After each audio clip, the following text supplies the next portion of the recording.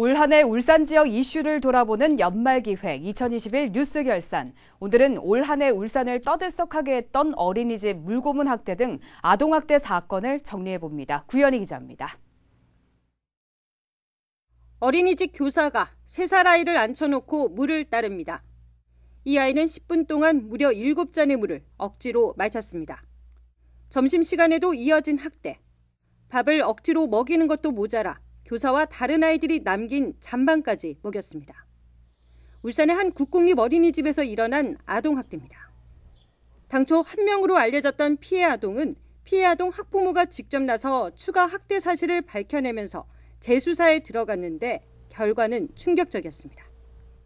이 어린이집 보육교사 전체 12명 중 10명이 학대에 가담했고 피해 아동은 49명, 학대 횟수는 660차례에 달했습니다. 34일밖에 안 되는데 거기서 600여 건이 나왔다는 거는 거의 매일이라고 보시면 돼요. 그 영상 있는 것만 지금 증거가 돼버리니까 더 속상해요. 지금 여기에 이 정도인데 앞뒤로 어떻게 더 심했을까. 보육교사 4명에게 실형을 선고한 1심 재판부는 교사 대부분이 학대에 가담하고 방조한 전례를 찾기 어려운 사건이라고 지적했고 항소심 재판부 역시 원심의 판단을 유지했습니다. 이 사건 외에도 동구 어린이집 등 울산 곳곳에서 어린이집 아동학대 사건이 불거졌습니다. 울산에서는 올해 들어서만 300건이 넘는 어린이집 아동학대 신고가 접수됐습니다. 지난 한 해 전체 신고 건수의 3배가량에 달합니다.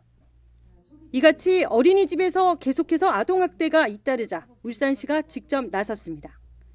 아동학대 예방교육을 강화하는 한편 아동학대 전담 인력과 학대 피해 아동쉼터를 늘리고 전담 의료기관도 지정했습니다. 어린이집뿐만 아니라 울산의 전체 아동학대 신고도 급증했는데 올해 울산의 아동학대 신고 건수는 11월 말 기준 2,800여 건으로 지난해 전체 신고 건수의 2배에 달했습니다. 코로나19가 지속됨에 따라서 경제적 어려움이나 양육의 스트레스 증가가 좀 원인이 될 수 있을 걸로 보이고 최근에 크고 작은 아동학대 사건들이 언론에 많이 노출이 되면서 그에 따른 시민분들의 관심이 증가했다라고도 볼 수 있을 것 같습니다. 지난 1월 민법상 자녀 징계권이 폐지됐습니다.